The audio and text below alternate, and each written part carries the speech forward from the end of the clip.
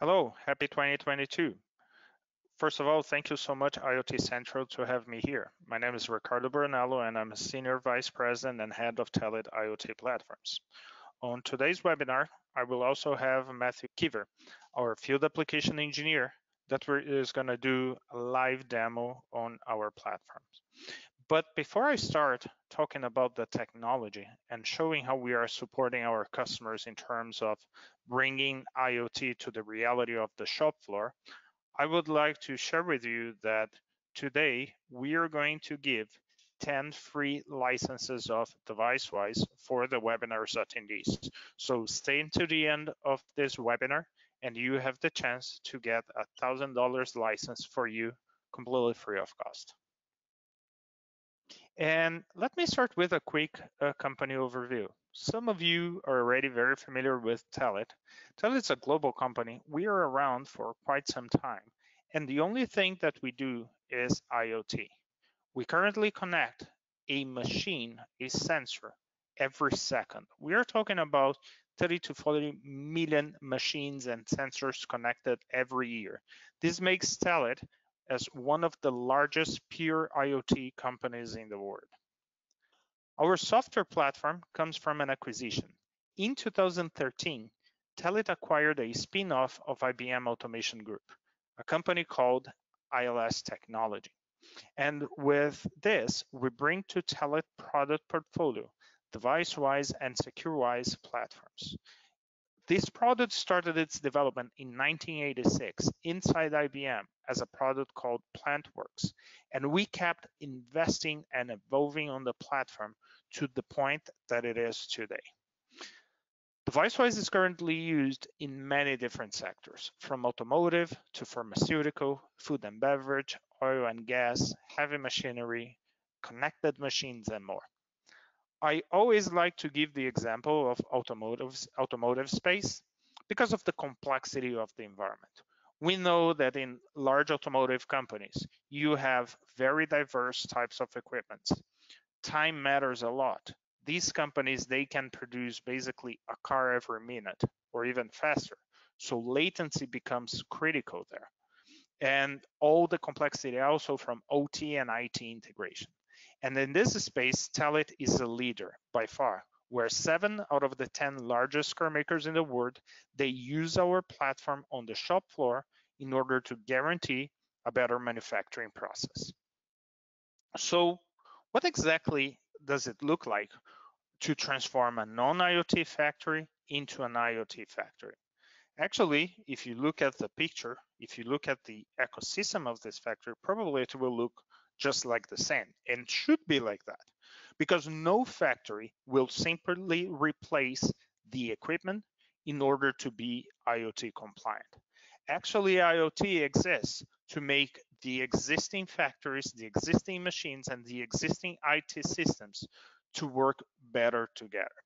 But then when you start looking in details, what you're going to see in all these different types of manufacturing environments is a very complex type of footprint. Just here on this picture, I see, for example, a Rockwell controller up there in the smart crane. I see a machine here running a Siemens PLC, an 840D CNC, AGV moving part around, a robot here, and send and the necessity of guarantee the safety and the performance of the people running on the shop floor.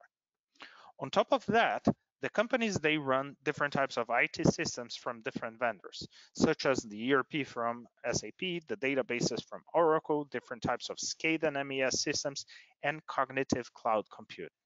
How can we do these things to work better together to integrate all the different machines and all the different IT systems with a layer of intelligence? Basically, this is what we do. So if you think about DeviceWise, DeviceWise is this is smart arrow connecting all different types of machines to each other and to its and to different IT systems, making a more uh, complete and automated environment. Telit has been recognized as a leader in this space. We won over the years several awards as the best industrial IoT product, and ABI Research classifies Telit as a leader in smart manufacturing platforms. I like the way that they describe us, saying that compared to Kepware, DeviceWise has the advantage in lower latencies.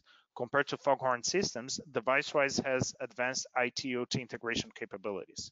Compared to homegrown data extraction and edge intelligence solutions provided by industrial automation companies, DeviceWise has more flexibility and more advanced software. So what is DeviceWise and in what market is, markets and industries uh, we, uh, we are in? DeviceWise is a software. This software can be installed in any type of environment. We focused in industrial solutions and we divide industrial solutions in two big groups. One that we call connected factories and one that we call connected machines. For connected factories, think for example as Ford or Coca-Cola uh, as examples of use cases where we have DeviceWise installed at the edge in any type of server. It could be a Windows machine, a Linux server, a big mainframe running a, uh, AIX, a small Raspberry Pi. When you install DeviceWise, comes with hundreds of drivers. Now collecting data from any industrial device is simpler than installing a printer at your computer. You just pick one of the hundreds of drivers that you have available. Siemens PLCs, Fanuc uh, robots, torque guns, leak testers, sensors, everything becomes available for you in a click of a button. You install, you appoint to IP address, and now all the tag tree gets auto-enumerated for you to read and write data from all these machines without writing a single line of code. Do you need to transform this data? You can use the edge logic embedded on DeviceWise, avoiding the necessity of writing a single line of code. So I can get raw data and transform this data into the format that I need to ingest, for example, into a database, or even do more advanced solutions such as opening a ticket in a ticketing system. Do you want to take the data and calculate a KPI? DeviceWise is perfect for that. I can take all the machine data and now calculate important performance KPIs such as OEE inside the system. And I can use DeviceWise View to display it. DeviceWise View is a fully SCADA and HMI platform embedded in DeviceWise. So I can do screens for operators and dashboard for managers without writing a single line of code. Think this almost like a PowerPoint for machines that you simply drag and drop widgets, right click, point to the variable that you want, and now you have live data coming to uh, you from your system. If you want this to be bidirectional, DeviceWise View also can be used like this. Use any interaction widget, such as buttons or text box, and then you can ingest data from the shop floor into your system, making things much more complete. So now I can move data from my machines to my IT systems, such as MES, ERP, databases. From my IT systems, taking actions into the machines using all the front end with DeviceWise View. And if you are using cloud solutions like AWS, Microsoft Azure, Google Cloud Platforms, and more, DeviceWise also can provide a complete bidirectional connectivity to the clouds. But there are many customers that are using DeviceWise today that they are not manufacturing companies, but they are OEMs. They are machine builders and they are producing industrial equipment and shipping to their customers. In this case, these customers typically use DeviceWise loaded in 4G or 5G gateways. These gateways can run all the functionalities of DeviceWise. You can collect all this data on the edge. You can, for example, using DeviceWise View, replace the necessity of having an HMI system, saving you five to ten thousand dollars per machine using a simple tablet to visualize and control all your machine. And much more important than that, use the full infrastructure with DeviceWise Cloud so you can have a digital twin out of the box showing the performance of all your machines. Have a dashboard doing your uh, monitoring of all these machines. And if you have a problem, you can use our secure remote access to access this gateway and using a layer two tunnel to access the machine, pro providing you the ability of doing remote maintenance on these machines without the necessity of jumping to an airplane and being on site uh, for that. So the way that we position DeviceWise is a full integra integrated platform from the edge to the cloud with all the, uh, the, the pillars for you to build your complete application with the drivers for data collection, the edge logic, the IT/OT integration, the visualization, cloud connectors, remote access, device management, and more. This makes the platform available to provide you the full necessity of commonality on industrial environments. So it doesn't matter what type of controllers you have, of machines you have. Doesn't matter what type of database, relational or non-relational database, or enterprise systems you're using. We can make all your machines from all the different vendors to talk to all your different IT systems. At the moment that you create an application, you can clone it. You can copy and paste this project and now deploy line by line, project by project extremely fast. And as we provide a fully vertically integrated platform, it creates the most cost-effective solution in the industry, avoiding the necessity of custom code and different software stacks. But let's say that customers are not using DeviceWise. How do you compare DeviceWise with other offers in the market? On the data collection, yeah, there are a couple of platforms there. Kepware is a well-known platform. You can get some drivers. They are not written bare to the metal as DeviceWise is. So the latency of DeviceWise is much lower than a Kepware server. But yes, you still can use it to collect some data.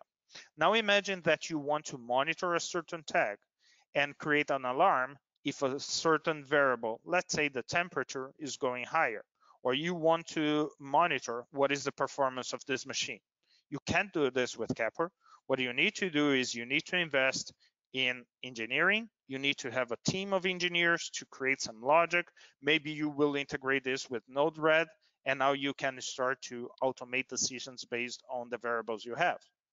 And let's say now that the IT manager say, I want to push this data to my SQL database, and I want to push this data to my SAP to open tickets through BAPIs.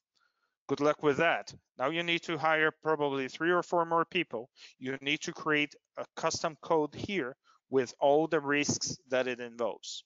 And then your CIO say, I want to have a digital twin. I want to have a big control room that I can see all the machines of my factory and how they are performing. With DeviceWise, you don't need to write a single line of code. In very few days of a project, you can create this complete solution and display to your CIO.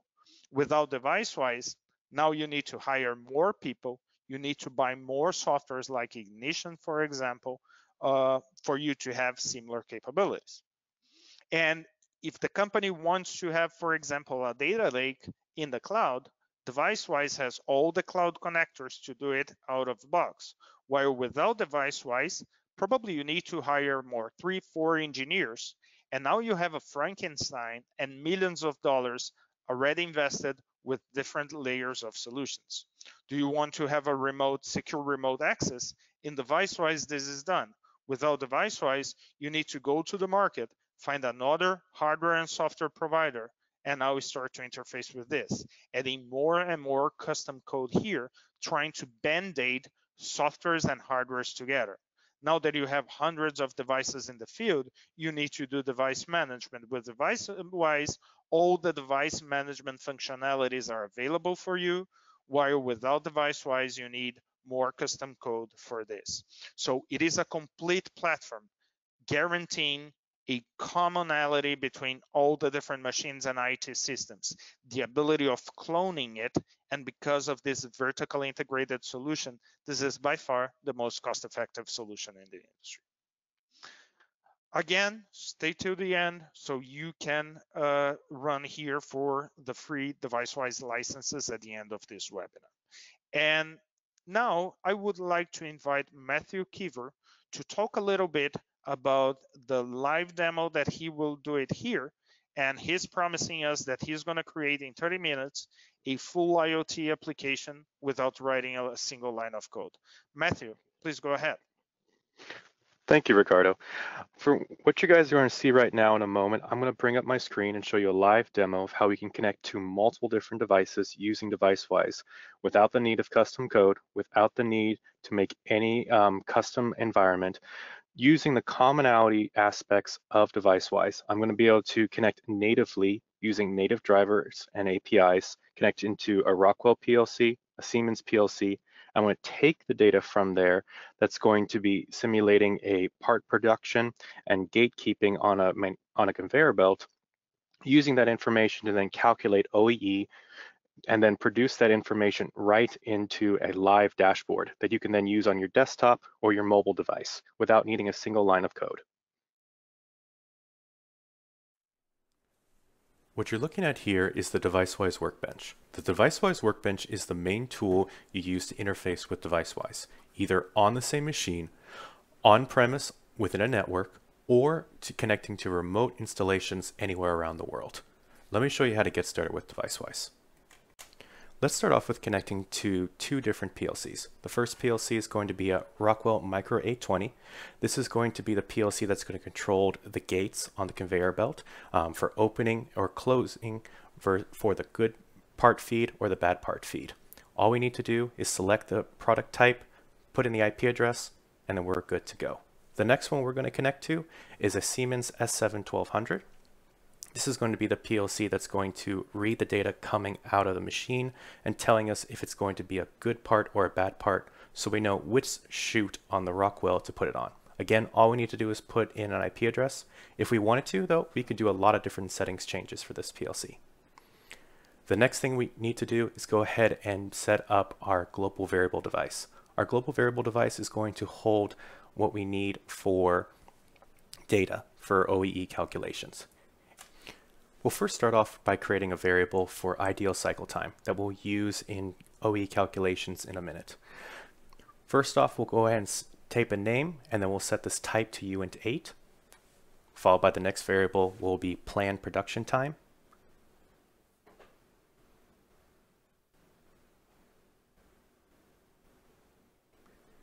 Then we'll do runtime,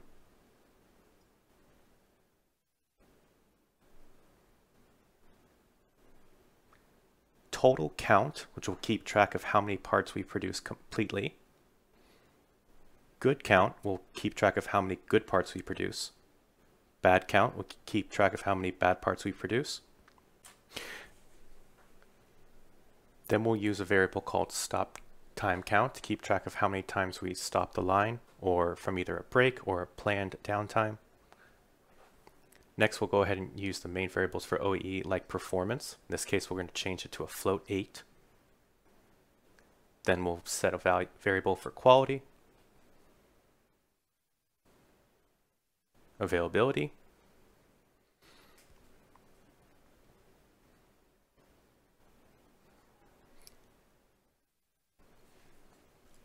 OEE for total OEE, and then we're going to create a one for OEE array, which we'll use to keep track of OEE for the last 10 calculations. All we need to do now is save this and go ahead and start up all the devices for the global variable device, the Rockwell PLC, and the Siemens PLC. We're going and start that up. DeviceWise will make the connection and automatically populate all the tag information from the Siemens and the Rockwell PLC. As you can see here, I can go ahead and highlight on the Rockwell PLC, read all the data in either in a byte format or in a bit format. And I can also do the same thing for the Siemens PLC as well, as DeviceWise has a common driver interface between all the different environments. And I can see all the OEE variables that we created a moment ago. Now, the next part we need to do is actually create a variable group so we can organize everything together. What a variable group allows you to do is keep track of multiple different data tags across any type of device. In this case, we're going to be keeping track of the planned production time global variable and the stop time global variable, allowing us to easily do one single program to keep do all the calculation for runtime while also keeping track exactly when these values change instead of just having to pull them all the time to see when they change we'll know exactly when it happens the next one we'll do is for variability. and this will also be for with planned production time and runtime. Now we're using the global variables, but this could be for any type of device, PLC, CNC, robot, DC torque tool, um, even something like a barcode scanner or anything else, you can integrate that into a variable group. It's just a great way to organize what you need to keep track of. Next one we'll create is for the performance variable group.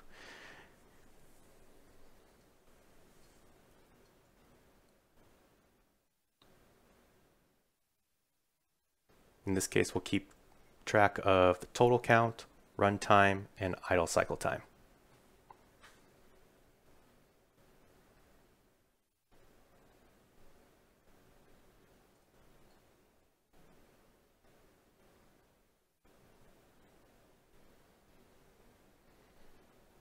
Next up will be quality variable group. So we'll be keeping track of the good count and total count.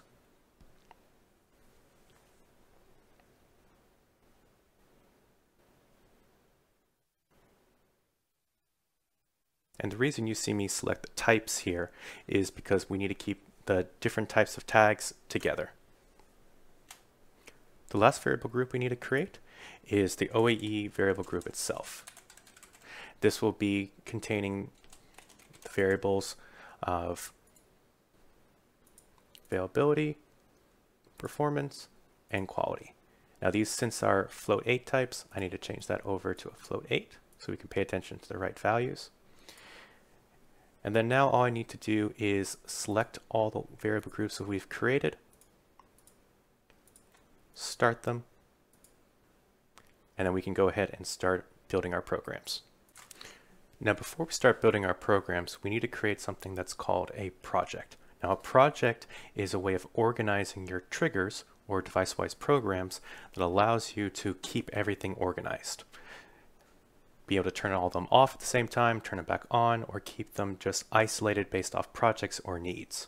The first one we're going to create is the runtime calculation. So what we're going to do is give it a name, select variable group. We selected the right variable group, and then we went ahead and put in the value placeholders in the expression action block.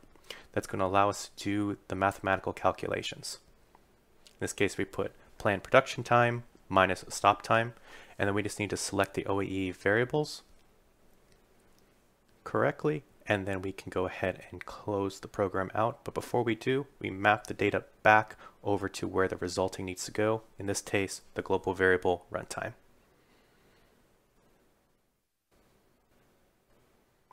Now I'm going to do a shortcut here and duplicate what I've already done so I can keep going forward without having to redo every single step. The next one we need to create is the availability calculation. So I'm going to name it as such. Open it up. Point to the right variable group. And I'm going to modify the expression block. Since production time is already there, I can leave it there and use it later. I just need to get rid of the stop time because I'm not using that anymore.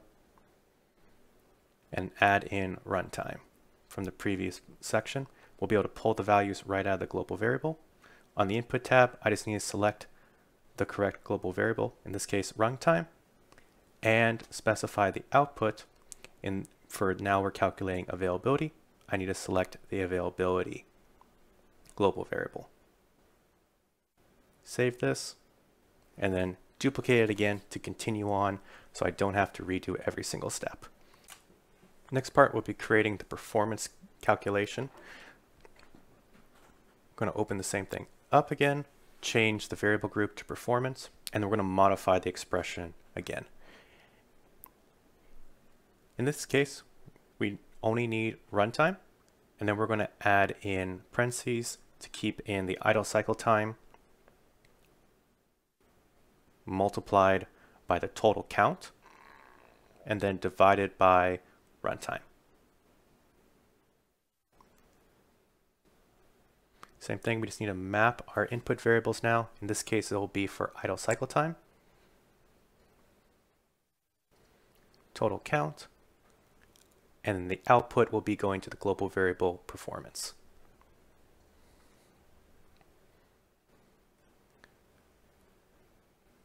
Our second to last OE calculation will be for quality. And we're going to open it up, same as before, change the variable group to the quality variable group, and go ahead and change the math expression. For this, we'll need total count still, but you see, even if I erase everything and put good count in first, and then divide it by total count, when I go over to the input tab, DeviceWise is smart enough to keep track of that, and it kept total count mapped for me. So the only thing I had to do was map in the good count, and then point it, the resulting value, over into the quality global variable. And then one more OE calculation. In this case, it will be for the OE calculation formula itself. So you open that up.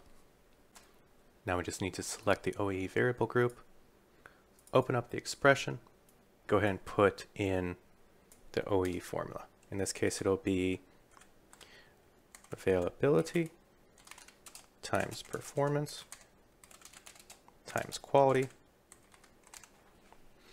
And it's going to go ahead and map all those variables to the global variable availability, performance, and quality. Now I could directly map this into the OEE variable itself.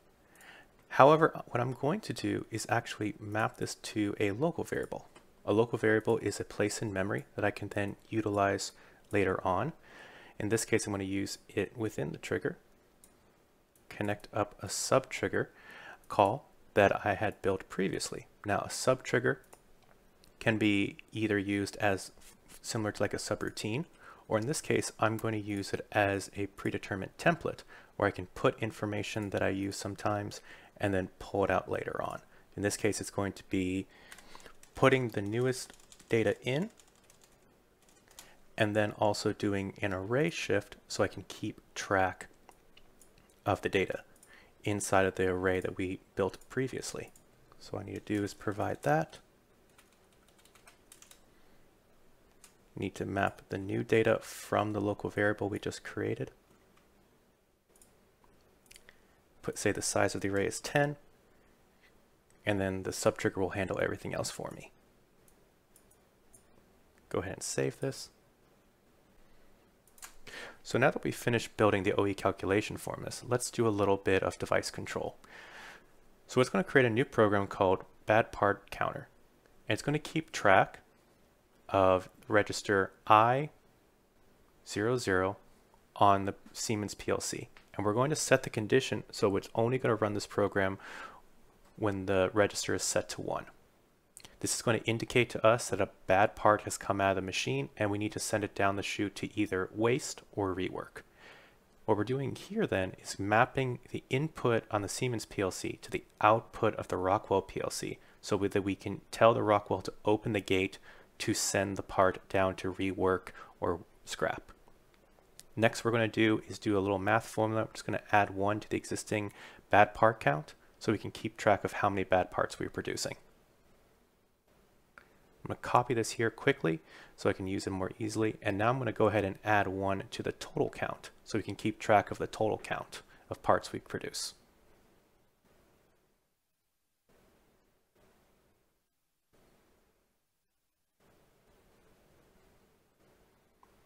Finally, we're going to wait one second so that the part can go through the chute to the other side. You could replace this with a some type of laser sensor or presence sensor if you have that. In this case, we don't, so we're just going to use a time. And then after that one second period, we're going to send a value of zero to the Rockwell so we can go ahead and close that gate. We're going to connect up an end execution success to close the program, save it, and we're good there. And then to make our lives even more easier, we're going to ahead and duplicate the bad part counter just make it good part counter. And then we only need to tweak it very slightly. Instead of looking at register 00, we're going to look at register 01. And then we're going to map register 01 to register DI01 on the Rockwell. This will indicate a good part, so we can put it down the good part chute. We're going to go ahead and also increase the good part count so we can keep track of that. We don't need to change the total count. We don't need to change the wait. All we need to do is change the final register for the Rockwell so we can close the gate appropriately. Now that we have everything built, the last thing to do is go ahead and highlight everything, say start, so that all the programs we built will start up ready to go when we have the devices running. Now, one unique thing about DeviceWise, all the visual programs you saw me build are actually compiled at runtime. So you're running a very bare to the metal program, not an interpreted language. What you see I'm doing here is creating a gallery. It's very similar to our projects for triggers, where you have an organizational component to your functionality. In this case, I created an, a gallery to hold in our new OEE display. I'm going to select a variable, and that's all I really need to do if I just want to see the value, but I'm going to add a format onto it for percentage so that the widget knows to format itself as availability in the form of percentage. I gave it a title of availability, and now what I'm going to do is duplicate it and just change it accordingly, the pieces I need, and I don't have to do everything. Gave it a new title, and went ahead and select the new variable. I'm going to duplicate it one more time select over um, quality in this case, and then I'm going to give it a title of quality.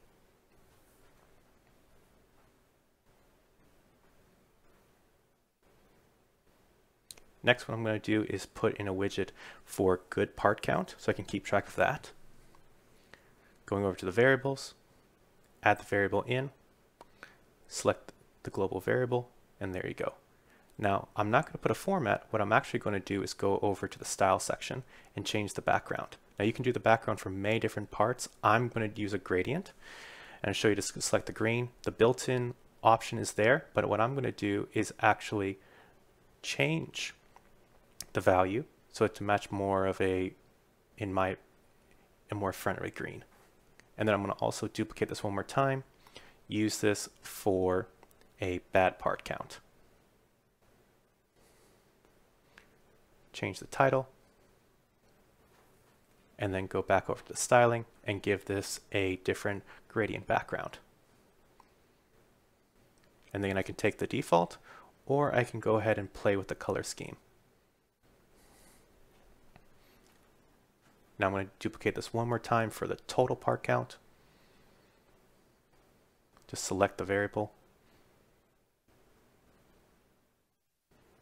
Save it change the title.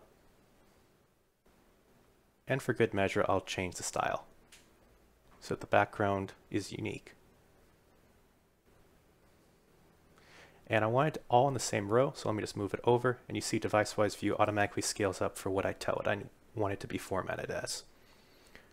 The next one I need to do is going to be for planned production time.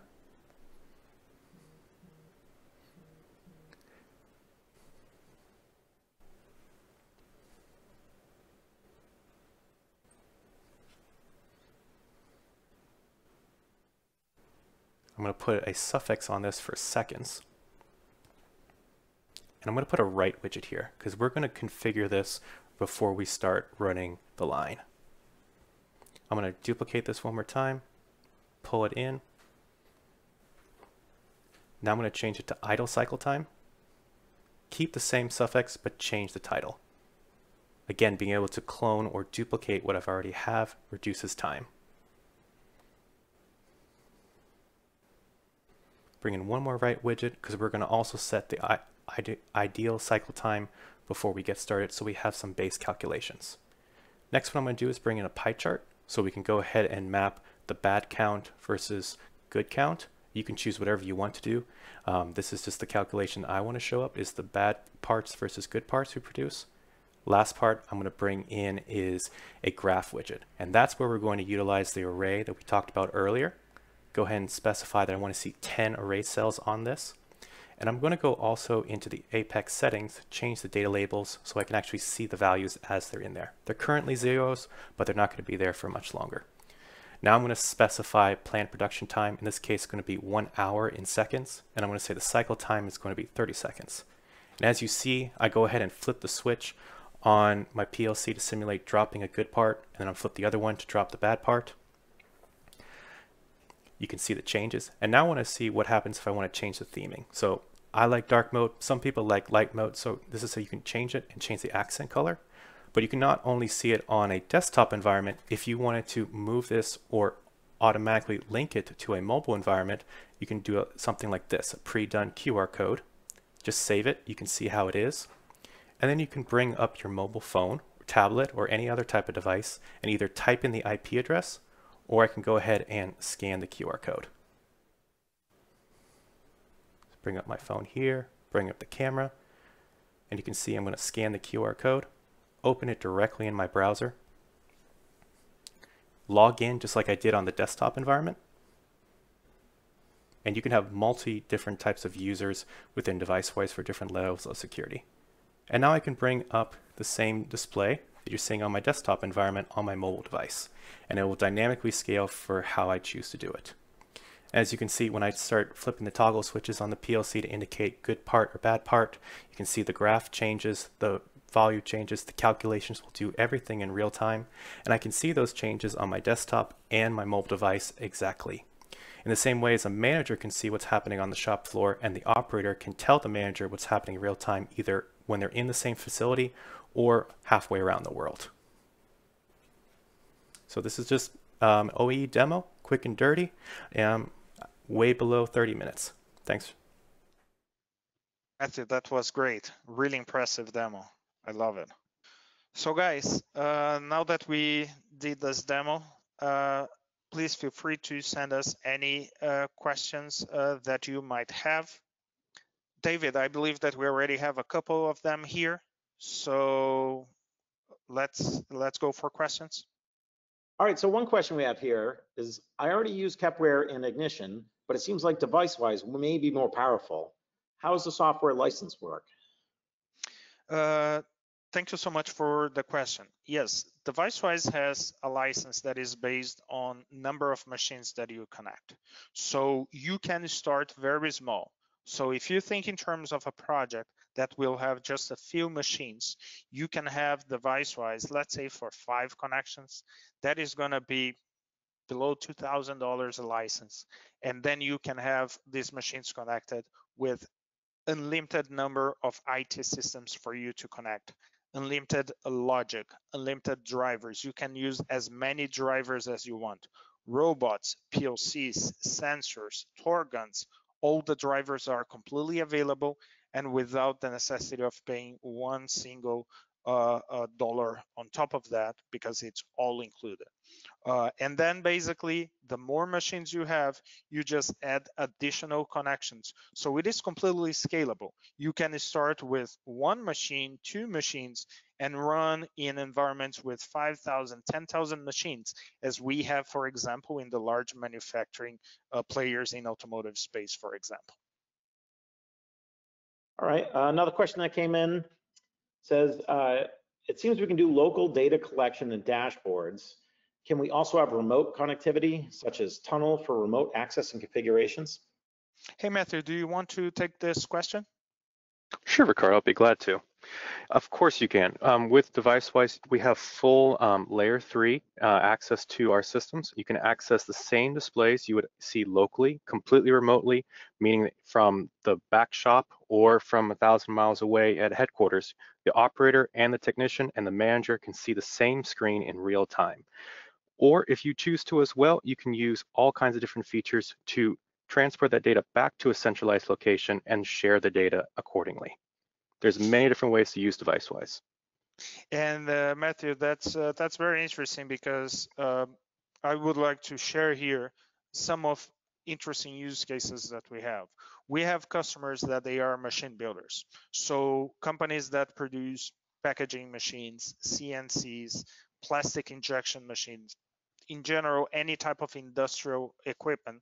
Uh, and inside this equipment, typically the customers are putting cellular gateways like 4G, 5G gateways, running device-wise and shipping this to the market with the gateway preloaded with device-wise inside the cabinet.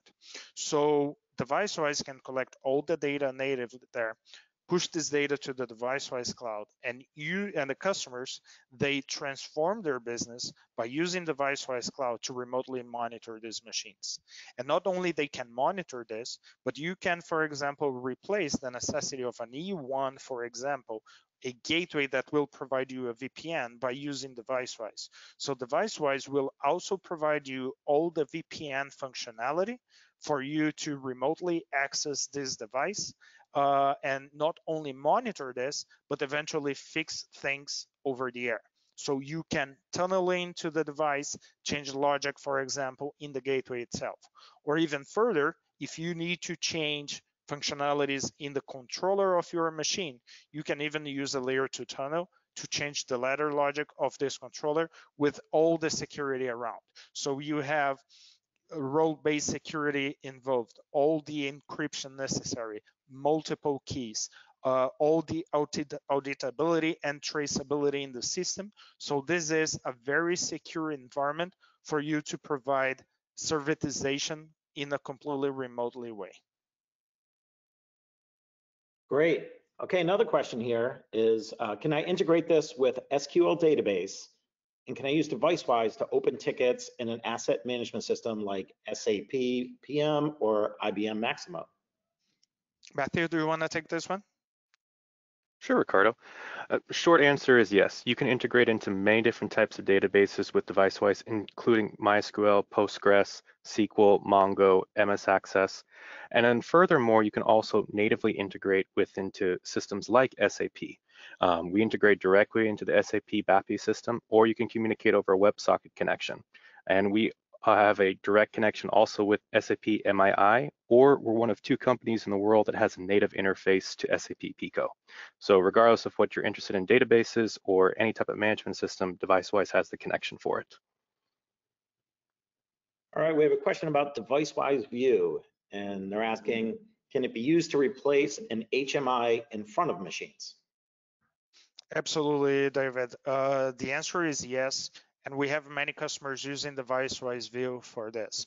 So instead of buying the old type of HMI systems, customers, they can run DeviceWise and use any type of screen, such a tablet, a ruggedized tablet, or even computers in front of these machines. And DeviceWise View, as I explained at the beginning, can be used in two different ways. You can use this as a dashboard for you to understand what is happening in the process, but you also can use this literally as an HMI.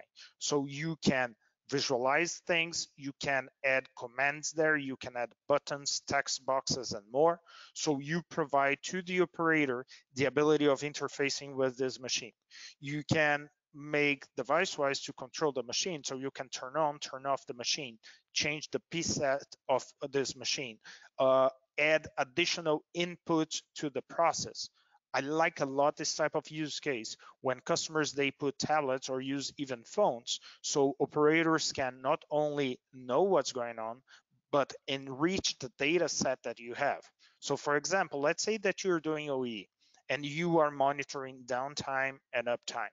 If you have a downtime, many times the controller itself, the PLC, can give you the reason why this machine is down hey, I have a jammed machine here, so somebody needs to do something. DeviceWise can trigger an action based on this native data coming from the controllers. But in certain cases, the downtime is caused by different things. Let's say that the operator simply needs a bio break. So now the operator can not only stop the machine, but he can also ingest more data in terms of why this machine is down. So managers, they can understand the root cause of the downtime and act in terms of improving the performance of the whole process. So the answer is yes, DeviceWise completely replaces any type of HMI and SCADA system. Oh, that's great. Okay, we have a pricing question. Do I need to pay extra for drivers? And what about tags? What are the limitations? Absolutely unlimited. All the drivers are completely available for you. From the most common Siemens S7 driver to the most sophisticated and unique drivers. I don't know, the Nachi robots, the torque tools, uh, anything that you can imagine, CNC. The list of drivers is huge. If you go to our uh, documentation, if you go to docs.devicewise.com, you can go through the endless types of devices that we can connect with DeviceWise, and all the drivers are completely available we know that there are many platforms that they get they have some gotchas there and the more you use the more they try to to charge you for adding for example charges for the number of tags. This is not uh, how our price policy works. So unlimited uh, tags is also included there. Uh, if you use five tags or 500,000 tags DeviceWise can handle all of them and you will not need to pay anything extra for that, as well as you don't pay extra for logic, you don't pay extra for IT connectors. All these functionalities are completely available at no extra cost. Okay, Ricardo, Matthew, we have time for one last question, and it's from a system integrator. They asked if Telit has a partnership program that would allow them to be a reseller. Uh, great question. Uh, absolutely. Telit is a technology provider, and the way that we go to market is in partnership with system integrators and uh, resellers, distributors. We have a very aggressive SI program that we provide an aggressive price for system integrators so they can integrate this to their offer and take this to the market. Not only we have this commercial incentive on the pricing level, but we have also all our education program.